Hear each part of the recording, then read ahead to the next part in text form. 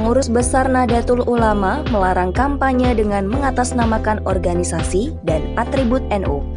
Ketua PBNU Fahru Rozi mengungkapkan pihaknya akan memberikan sanksi apabila ada pihak di dalam organisasi yang berkampanye mengaitkan nama NU di dalamnya.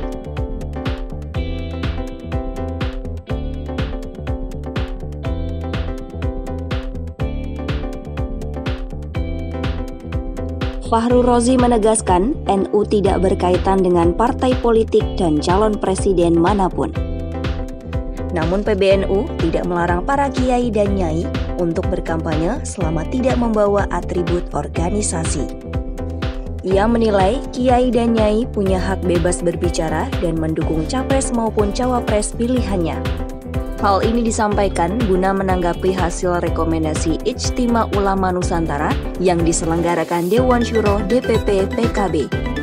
Salah satu hasil dari pertemuan itu adalah Kiai dan Nyai menjadi juru bicara kampanye atas capres dan cawapres yang bakal diusung PKB.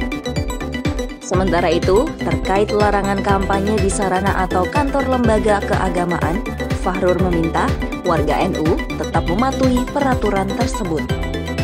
Di sisi lain, ia meminta Kementerian Agama memberikan batasan yang jelas agar aturan ini tidak multitafsir. Kemenak perlu mengatur apa yang dikategorikan sebagai lembaga keagamaan.